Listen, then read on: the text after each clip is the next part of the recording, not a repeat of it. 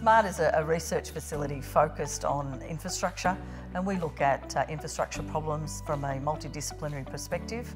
The Smart Infrastructure Facility has a mandate to work on infrastructure systems at large from a holistic perspective. If you think about infrastructure systems, it's about services and services are about people. So we cannot think solutions without thinking about the end user of these systems. SMART has done an audit of the infrastructure needs of Australia and we've restructured our research themes to suit that agenda. So we're now looking at things from a more holistic perspective. We're looking at cities and transport, systems and logistics, health and education and water and energy. And we have three enabling platforms uh, to support these themes. The first platform is called the Data Analytics Lab. The second one is the Advanced Simulation Lab. And the last one is the Digital Living Lab.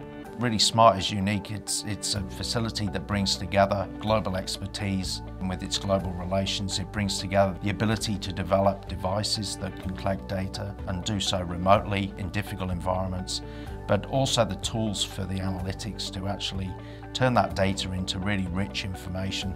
And the role of SMART is not only about investment in infrastructure systems. These systems are meant to serve people, the citizens and residents of this country.